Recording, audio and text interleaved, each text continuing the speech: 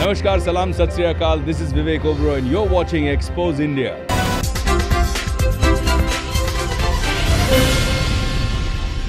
उत्तर प्रदेश के रामपुर में योगी आदित्यनाथ गांधी समाधि पर श्रद्धांजलि अर्पित करने पहुँचे, जिसके बाद फ़िज़िकल कॉलेज मैदान पहुंचकर 2100 दिव्यांगों को ट्राई साइकिल और सहायक उपकरणों का वितरण किया इस दौरान आज़म खां का गढ़ कहे जाने वाला रामपुर दूर दूर तक भगवा रंग में रंगा दिखाई दिया वहीं मुख्यमंत्री ने आधे घंटे तक सांसद और विधायकों के साथ भी समय बिताया। साथ ही सांसद और विधायकों को गुरु मंत्र भी दिए।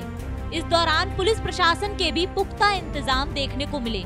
रामपुर से एक्सपोज इंडिया के लिए फहीम खान के साथ सिंपी राय की रिपोर्ट। परंपरा को आगे बढ़ाने का संकल्प है हमारा, क्योंकि आपकी उम्मीद पर टिका है परिवार हमारा। अमर भारतीय एक उम्मीद, जज्बा बुलंद हौसलों का, जज्बा भारत के निर्माण का।